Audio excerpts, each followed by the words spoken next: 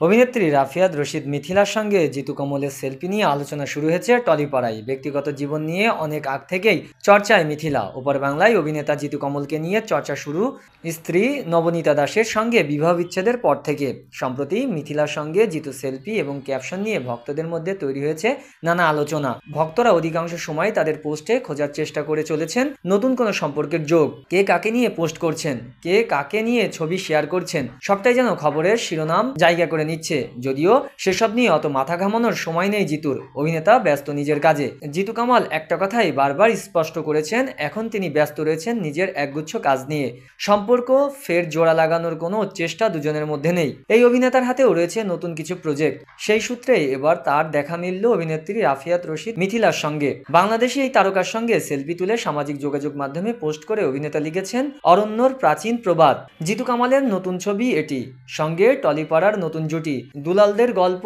ও পরিচালনায় ছবিতে শিলাজিৎ মজুমদারকেও দেখা যাবে গুরুত্বপূর্ণ চরিত্রে। শোনা যাচ্ছে, গোয়েন্দা নির্ভর গল্পই তৈরি হচ্ছে এই ছবি। ইতিমধ্যেই কাজ শুরু হয়েছে। দুই বাংলার জনপ্রিয় অভিনেত্রী মিথিলার সঙ্গে জিতুকে একসঙ্গে প্রথমবারের মতো পর্দায় দেখে অন্তর্জালেও হইচইয়ের সৃষ্টি হয়েছে। ভক্তরাও নতুন এই জুটিকে শুভকামনা জানিয়েছে।